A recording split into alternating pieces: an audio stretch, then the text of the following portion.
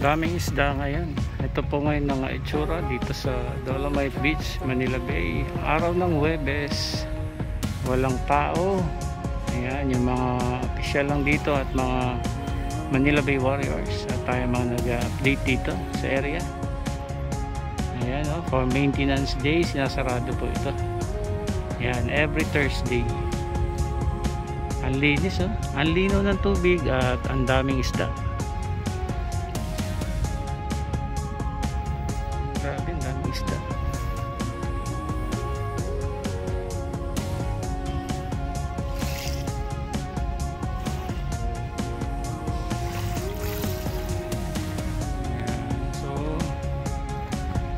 lakad-lakad lang tayo dito. Ayan, sa mga kababayan po natin na nagpaplano pumunta rito, huwag niyo po itataon ng Huwebes dahil ah, ito yung araw na isinasara dito sa publiko isang araw lang naman every Thursday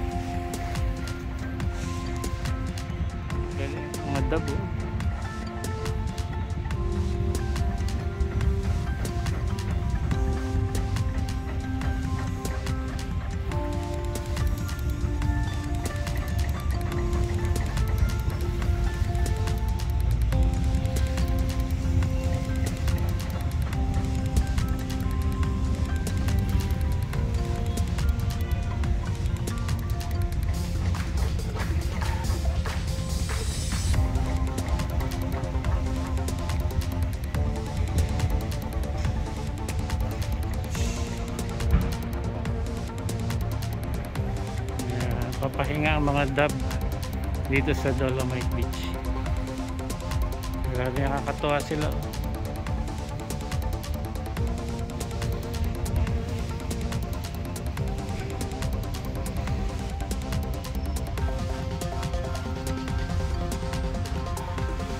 Kahit dab ayan na-appreciate nila yung ah, ganda ng area.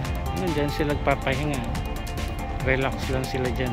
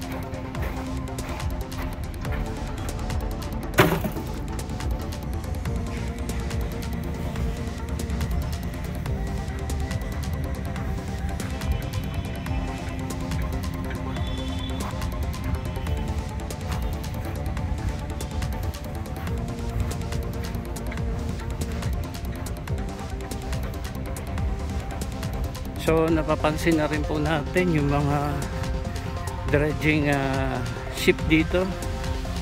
Ayan katulad po nito. Ayan, ang lapit niya na rito. No?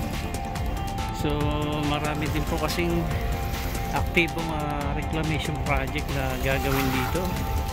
Una na nga po yung uh, Horizon Manila. Tapos itong uh, nalalapit na pagtatambak nila rito sa Solar City reclamation. Samantalang yung uh, SM Prime ayun nag-uumpisa na po. No expansion ng uh, Mall of Asia. Dyan sa may parking Pasay. Reclamation din yan. So antabayanan po natin yung mga proyektong gagawin dito at mahaba-haba pa ito. Yung sa SM Prime ano ay uh, mga 3 years makikita na natin yung uh, kabuuan ng uh, tambak ng buhangin dyan. At sa mga susunod na taon pa ay yung mga naglalaki mga establishment dyan. Ayan pakaantabayanan na lang po natin. And we're still hoping na sana uh, magawa ng uh, paraan ng magandang sistema yung kapag uh, may bagyo no? Ma, uh, baha dyan sa, sa ating uh, area ay uh, magawan po talaga ng uh, tamang sistema para makababa, makadaloy na maayos papunta sa dagat yung uh, mga tubig dito sa loob palabas dito sa dagat. No, kahit na nagkaroon ng reclamation dyan sana yun nga po magkaroon ng uh, magandang dadaluyan yung uh, kanilang uh, gagawin proyekto dyan ay magawa nila ng paraan ng magandang sistema para hindi bumaha po dito sa mga bayan po dito ng Maynila ng uh, Pasay uh, Paranaque, Las Piñas, Cavite Malabon, Nabotas yan. Sana magawa ng uh, maayos. Kahit magkaroon ng mga, mga reclamation project dyan.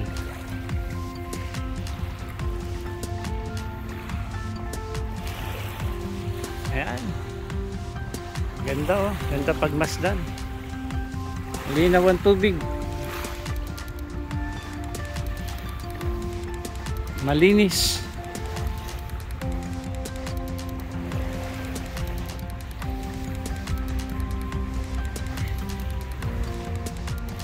Madaming isda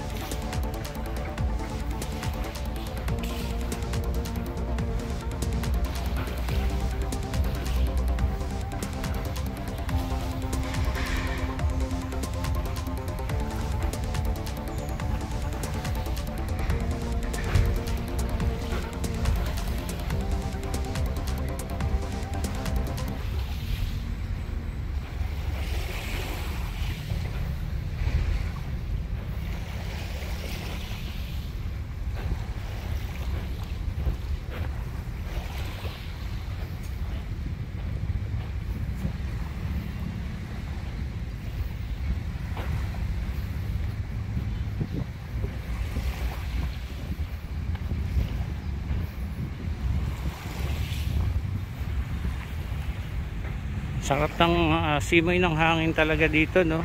Yung normal na amoy talaga pag kayo nasa dagat. Fresh air. Ayan, ito po ngayon ang itsura dito po sa Dolomite Beach Manila Bay. Maraming salamat. God bless po sa atin lahat